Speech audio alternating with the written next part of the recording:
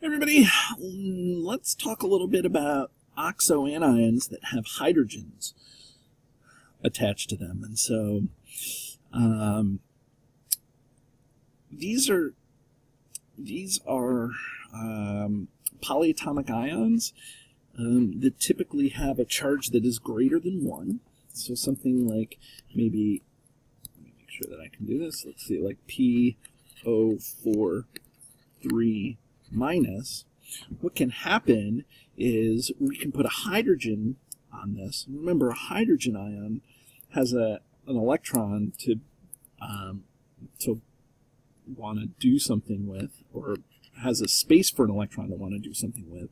And so when we add a hydrogen in front of this, we also change its charge to 2 minus. So we add um, the hydrogen and 1 to the charge. Add 1, meaning it goes up 1, because remember this is negative, so going up. Okay, so the name of this is hydrogen followed by whatever the name of the polyatomic ion is. Okay, so this is going to be hydrogen phosphate.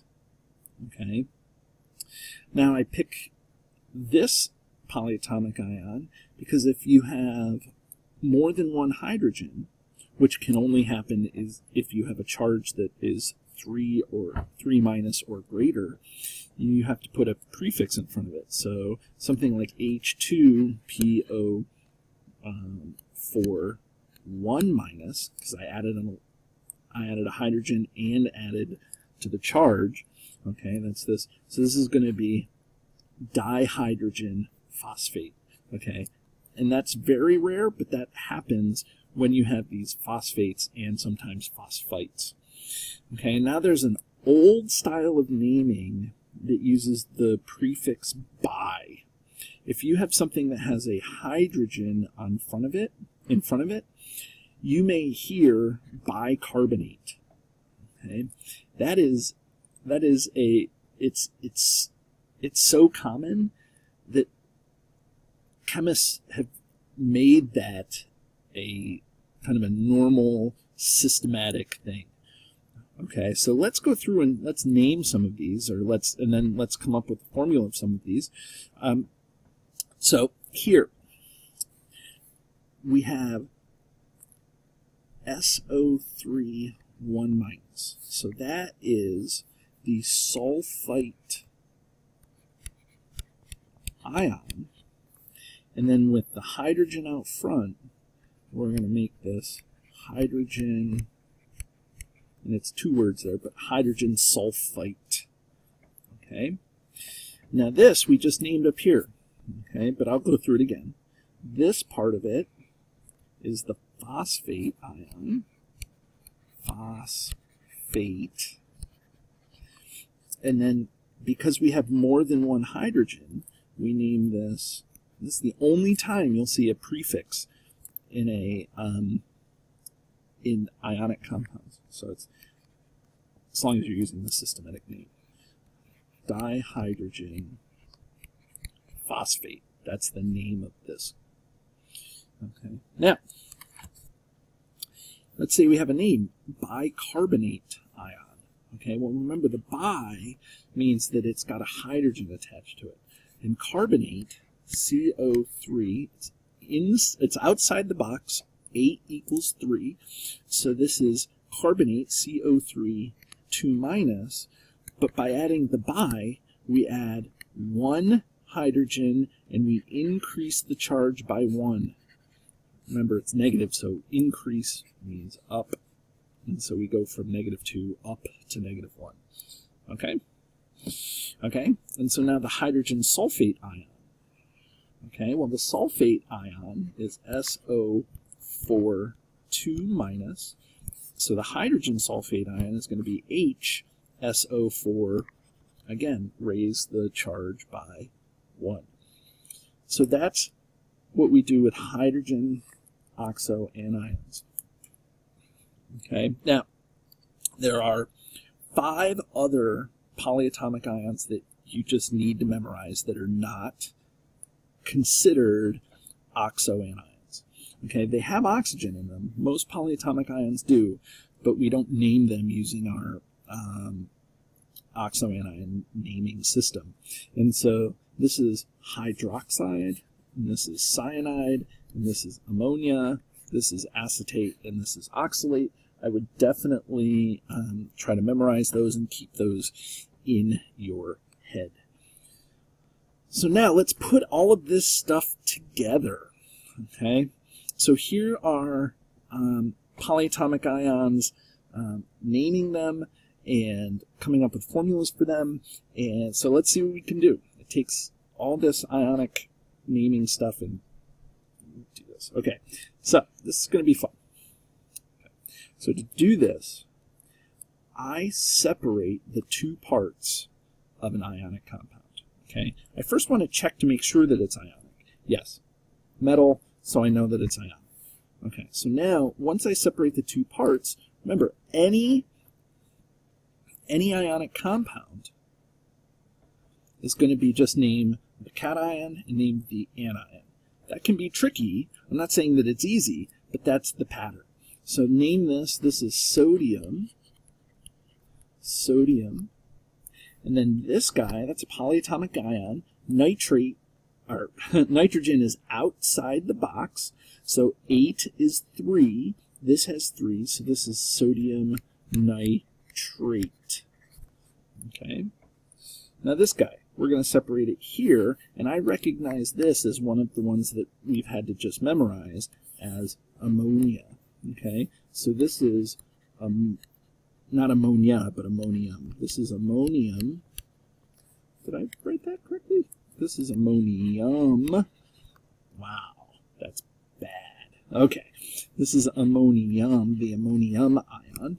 Okay, so that's ammonium, and it's not a transition metal, so we don't need anything here. And then we name this half. This is the chloride half. Okay. Okay. Next. Okay, name the two parts. This is iron. Now this again has to be the one that this is one of those that we had to memorize. So this is iron cyanide. Not a very pleasant compound. Okay. But now we need to figure out what the charge on iron is.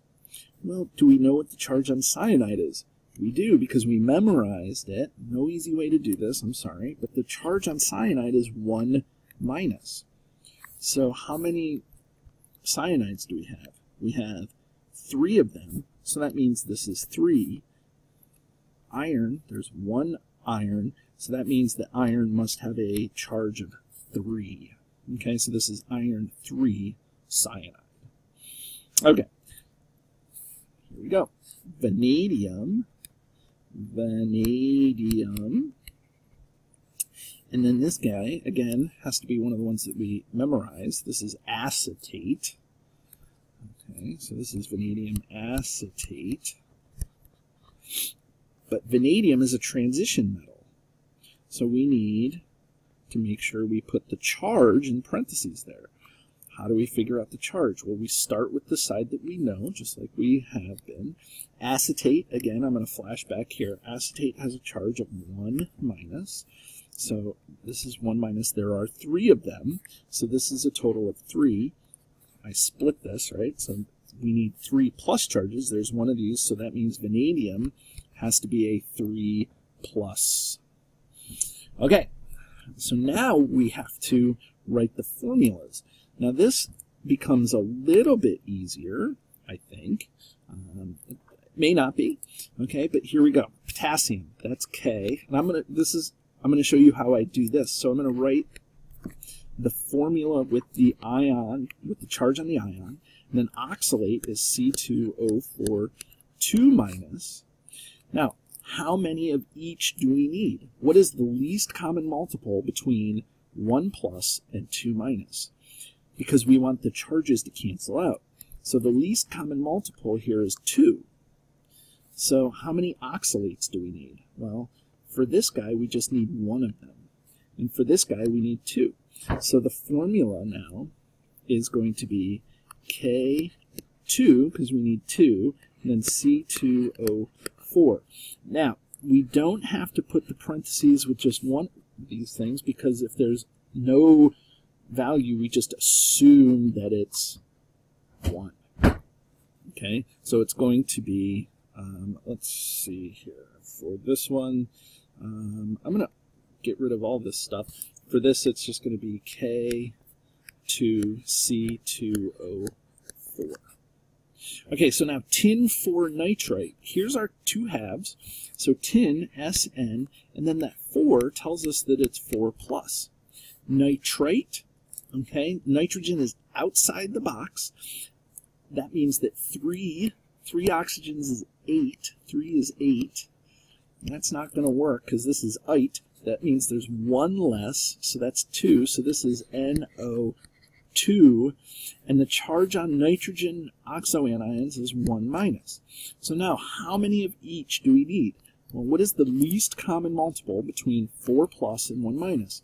Again, we're doing this to make sure that the charges cancel and balance each other out. So this is 4 plus 1 minus, so this is going to be a charge of 4, sorry, the least common multiple of 4. So how many tins do we need? One tin. And how many nitrate trites do we need? We need four of those. Okay, so now when we write this, okay, this is where it gets to be fun. We don't want to write it SNNO24 because if we do, it just looks like we have 24 oxygens. That's not right. What we want to do is we want to say that we have four of the nitrates in the parentheses. Okay, so we put the parentheses here, and that tells chemists to distribute the four throughout the polyatomic ion. Okay, keep going here. Chromium, so again, this is our first ion, chromium, and then this tells us the charge, 6 plus, and then oxide, that's not a polyatomic ion, okay, that's just O, and that's 2 minus. Now here's a case where we don't where um, doing it other ways will get you the wrong answer. That's why I always use the least common multiple method. Okay, what is the least common multiple between 2 and 6? Well, that least common multiple is 6. Okay, so that means how many chromiums do you need? 1. How many oxygens do you need? 3. And so that means the formula for this is CrO3. Some people teach like a crisscross method or whatever. Okay, that works most of the time. This method will work all of the time. Okay, so now, oh, so for how easy this one may have been or how straightforward this one is, this one's a little trickier. Okay, so ammonium. Ammonium, we can look up on the list, is NH4+, plus. then bisulfate. Okay, well, that's a crazy thing but bisulfate. So we should start with sulfate. Okay, sulfur is inside the 8 box, so that's SO4. And then this is 2 minus, but that prefix bi means that we're going to put a hydrogen here, and so we add the hydrogen and add a charge, so that's going to be H that's going to be 1 minus. So this is going to be ammonium bisulfate. So now we look and we say, okay, what is the least common multiple between 1 plus and 1 minus? Well, that's 1. So now, I'm going to put this over here because I'm running out of room. So that means one of each. So it's going to be NH4 HSO4, and that is the formula for ammonium bisulfate. And that is why you may not see the hydrogens combined all together. This, the hydrogens are separated because this is one half of the ion, and this is the other half of the ionic compound. So it's really kind of neat when we get into this. Okay, so there it is.